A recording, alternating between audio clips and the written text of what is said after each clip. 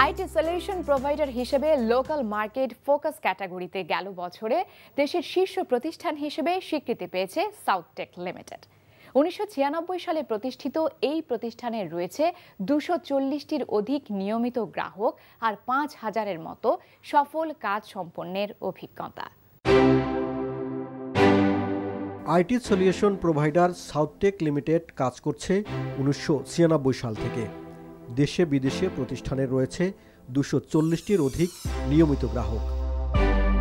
এছাড়া পাঁচ হাজারের মতো সফলভাবে আইটি খাতে কাজ সম্পন্নের অভিজ্ঞতাও রয়েছে তাদের।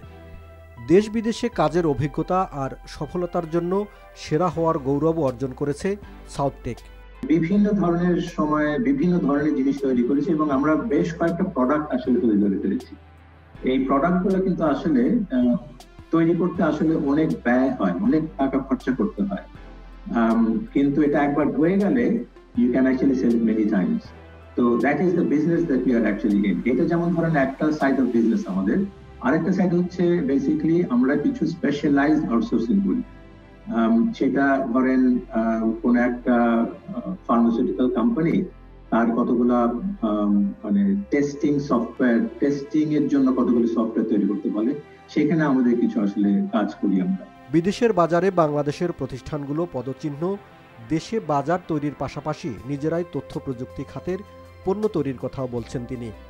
আমাদেরকে যেমন ধরেন বাইরে ইনভেস্ট করার জন্য একদমই মানে মোটামুটি একটা নিষেধাজ্ঞা মতনই আছে বাইরে ইনভেস্ট করা যায় কিন্তু আসলে বড় অঙ্কের যদি আমরা কাজ নিয়ে আসতে চাই দেশে তাহলে কিন্তু বাইরে ইনভেস্ট করতে হবে। কারণ দেখবেন আপনি যদি ভারতীয় কোম্পানিগুলোকে দেখেন ওরা কিন্তু দেখবেন যে তারা সত্যি বড় হতে পেরেছে যখন তারা বাইরে তাদের একটা ব্রাঞ্চ খুলতে পেরেছে এবং কিছু টাকা অন্তত নিয়ে যেতে পেরেছে। কারণ ক্যাপিটাল লাগে তো এগুলো করার জন্য। মার্কেটিং এদের খরচা লাগে। আগামী দিনের তথ্য প্রযুক্তি খাতকে সমৃদ্ধ করতে তিনি মানব শক্তি উন্নয়নে তরুণ তরুণী ও বেকারদের প্রযুক্তি দক্ষতা অর্জনের পরামর্শও দিয়েছেন। আমাদের যারা প্রোগ্রামার যারা আছেন তারা কিন্তু কোনো অংশে বিদেশি প্রোগ্রামারদের থেকে কম নয়। সুতরাং এখানে কাজ আসবে। এবং আমরা যদি ধরেন প্রোডাক্টস গুলাকে যদি বাজারগত করতে পারি, বাইরে স্পেশালি বাইরে, তাহলে কিন্তু আসলে আমাদের পাঁচ বিলিয়ন ডলার ভাঙাটা খুব একটা ডিফিকাল্ট হবে